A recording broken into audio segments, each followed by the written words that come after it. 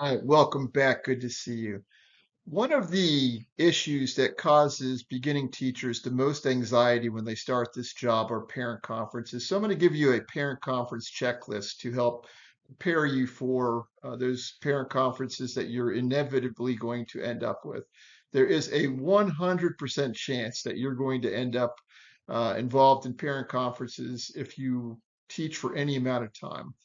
The first and most important is identifying if there's an IEP. You should know if your students have IEPs and have read all of your student IEPs.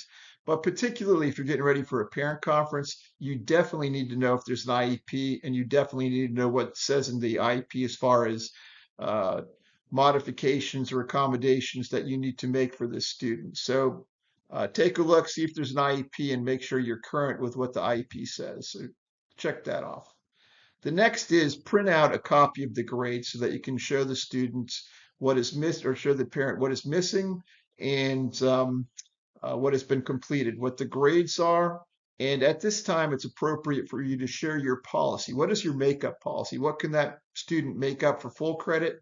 What can that student make up for half credit? What will you no longer accept as far as uh, makeup work goes? So have your have two copies of the grades printed out, one for you, one for the parent. So there you go. Check that off.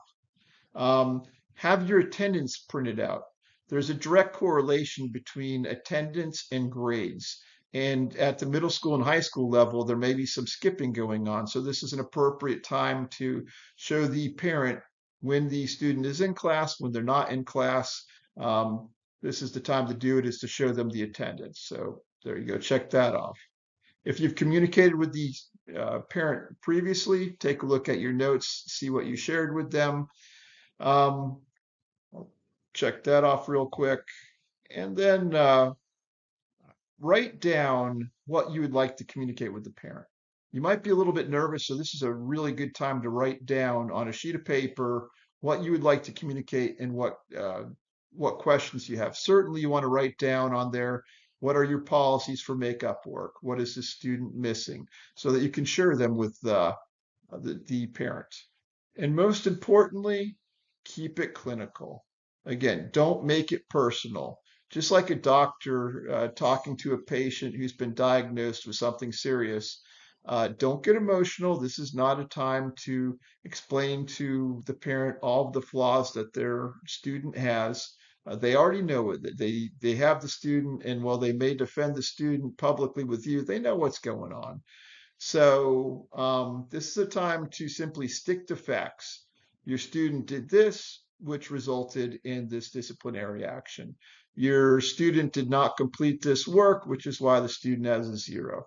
Your student uh, is talking to X, Y, and Z. Um, again, don't get mad just keep it clinical, which is uh, uh, this is what happened, give them facts, and then let them deal with the facts. If you stick to uh, this little checklist right here, your first parent conferences should go fine. You'll do uh, a great job in there. Just relax. At our school, typically we meet with the guidance counselor and all of the teachers. So uh, I know when I go into a parent conference, I'm not alone. Hopefully, you're in the same situation. And if you're not, maybe invite some other teachers to contribute to the uh, conversation as well. Hope this helps. Keep being heroes out there. Have a great school year. Talk to you soon. If you learned anything from the video, please click the like button and think about subscribing. Thanks. Talk to you soon. Bye bye.